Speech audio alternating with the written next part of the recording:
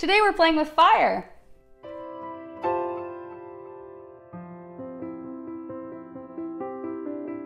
Hi witches, welcome back. If you are new here, my name is Ami. I am a witch and on this channel we talk about witchcraft, spirituality, and anything that I feel like ranting about.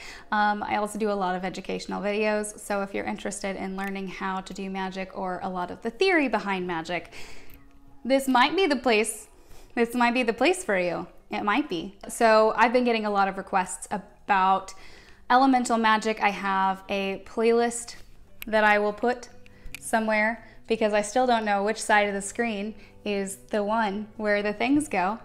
Um, a lot of you guys have been asking me for more tutorials about how to work with elemental magic, so I'm I'm going to continue working on those. So today we're playing with fire. I have um, a candle here I am going to assume if you're watching this video that you already have a basic understanding of the fire element and so I am not going to explain all of the things. If you don't have a basic understanding of the fire element, please see video somewhere. Um, or just dive right in, whichever floats your boat. So what we're going to be working on today is manipulating a flame. I'm just going to remind you that elemental magic is very energy based. And so even when you're dealing with the physical element, there is a lot to be said for understanding and communicating with the energy of the element. So I'm going to zoom you guys in here in a minute and do the actual practice myself. But before that, I'm going to set it up and tell you what I'm going to do. So the end goal with this practice is to be able to make the flame move, or rather to ask the flame to move, to change shape, to flicker, to grow, to grow smaller. Growing is the opposite of smaller. Uh, bigger flame, smaller flame. If you're a fire element, this is something that you should you should do. You should you should be doing. This is the first thing that you should do, and it's the same thing that you should be doing 100 years from now in my opinion. Also, if you enjoy meditating with candles, this is a good one for that as well. I'm so I'm gonna zoom you guys in so that the focus is on the candle and then we're gonna go ahead and get started. Okay, now that you guys are zoomed in, I have a lighter. I'm going to go ahead and light the candle. You can do this with any kind of candle. It can be a colored candle, a scented candle. It doesn't matter. And I'm just gonna give this the opportunity to get going. Okay, so the flame on this is already flickering a little bit. That may or may not be my focus. I think it's because of the AC. And also, I'm breathing. You wanna try to not breathe on your candle. I mean, you have to breathe, but try not to breathe directly on the candle as that will affect your results. You also don't want to like bump your table if it's easier for you to do this on the floor or somewhere that you're not going to affect the flame. That's better. This one is just doing things. You guys were asking me to do more physical demonstrations, so I don't really know how this is gonna turn out, but I am really hoping that it works on camera. And if not, I guess I just apologize ahead of time. Okay, so the first thing that I'm going to do is I'm going to center myself. I'm going to make sure that all of my chakras are awake and just that I I'm connected to the flow of energy throughout my entire body. But then what I'm going to focus on is um, there's a couple ways you can do this. You can either use the energy from your hands or you could use the energy from your thoughts only. So I'm going to demonstrate with my hands first and then I will uh, move to thoughts only.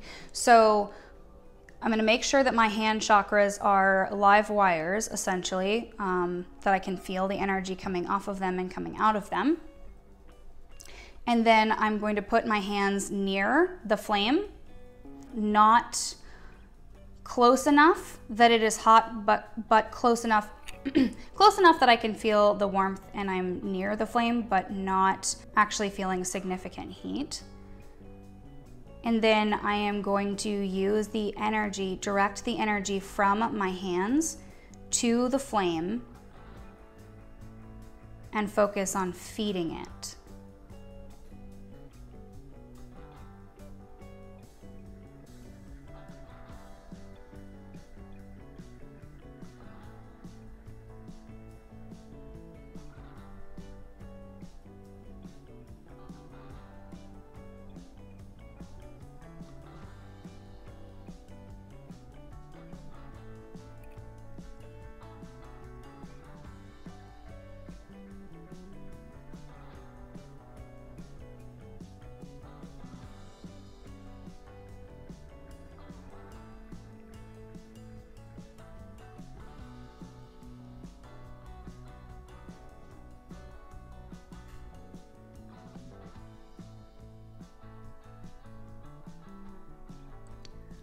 So when you focus on feeding the energy to the candle, uh, the flame should get bigger or flicker, get excited.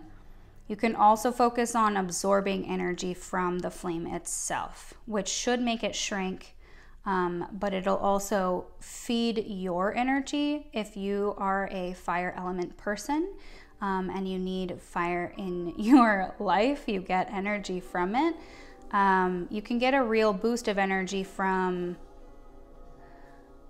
essentially absorbing the energy from a flame, not touching it, but the energy itself, taking the energy into your body. This is something that's really easy to do with like campfires and um, with like ritual bonfires and, and whatnot. Um, because you you really can just take the full force of the energy that's around that huge flame and absorb it into your body. And um, it's a very powerful type of magic. So, the second way that you can do this, if you don't work with your hands in an energy manipulation sense, um, if you are more of a if you want to do this more in a telepathically centered way, what you can do is um, focus on the candle itself. You can either leave your eyes open or close them, it doesn't matter. And the first thing I want you to do is focus on the flame and think about making it bigger but not just bigger. I mean, you, you can go in depth here and look inside the flame to all of the billions of um, gaseous particles and imagine them exploding, expanding, becoming a, a force unto themselves and continuing to expand and explode growing hotter. Imagine the color of the flame becoming more intense, becoming hotter, becoming more, uh, I want to say enraged, but it's not a feeling, it's not an emotion per se. It's the, the sheer raw power of the flame becoming greater and greater and more intense consuming, overwhelming, expanding. Focus on that. Then I want you to focus on heat coming away from the candle. Focus on the flame itself becoming a little less hot it's okay if you accidentally put your candle out during this exercise by thinking it into non existence. That's totally fine. If you find that you are advanced enough in this practice that you can lessen and also grow a candle flame with your thoughts, that is, it requires a great deal of control but also you might be able to start the flame and put it out with your thoughts. So you want to be able to have the control to not go overboard, but you also um, might be able to grow your abilities to the point where you don't necessarily have to have a lighter or you don't have to snuff the candle, um, you know, with a plate or whatever. So now we are focusing on taking heat away from the flame, it dissipating and becoming um, just energy in the air, just going away, just becoming smaller and smaller and a little bit less hot and a little bit less intense, um, calming down.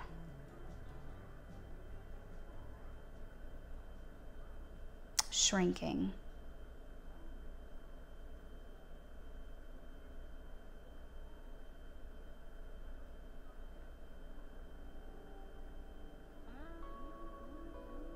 Okay, and now what I want you to do is I want you to focus on the flame speeding up and moving around and whipping around. You're, you're aiming for a flicker here. And if the way that you practice is with words, that is also fine. You can say grow, shrink, flicker. Um, you can also use invocations um, to start a flame and to put it out. I have a free ebook that, there's a link for it below in the description that'll tell you a little bit about invocations. Um, it deals with elemental invocations as well as um, as well as more practical ones. I also have a book about elemental magic that is available on my website that can give you some more in-depth uh, information about elemental magic as well.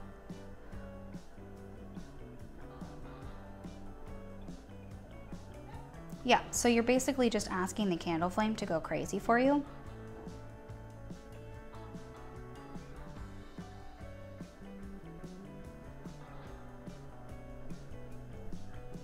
And some of this comes down to whether or not you're a visual person. Um, you might be able to achieve these things with your eyes closed or not. You might be able to achieve these things with feelings, with thoughts. Um, it might not be a imagine the flame expanding and contracting kind of thing. It might just be like a, you know, asking the flame to grow. Um, and that is totally fine.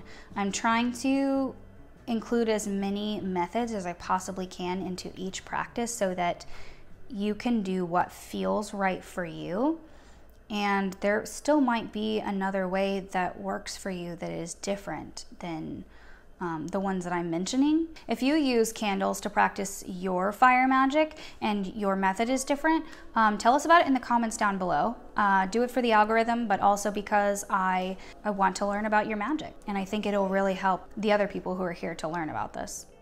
And that is Fire Magic 101, manipulating a candle flame. I hope you enjoyed it. I hope it goes well for you. Let me know what you thought and what your process is in the comments down below. I'd super appreciate it. If you want your video topics and questions to take priority, consider supporting me on Patreon. I'd appreciate it a lot. And thank you for watching. If you like this video, give it a thumbs up and consider subscribing. Hit that bell icon so that you know when my new videos come out and I will see you all again in the next one. Have a blessed and beautiful day.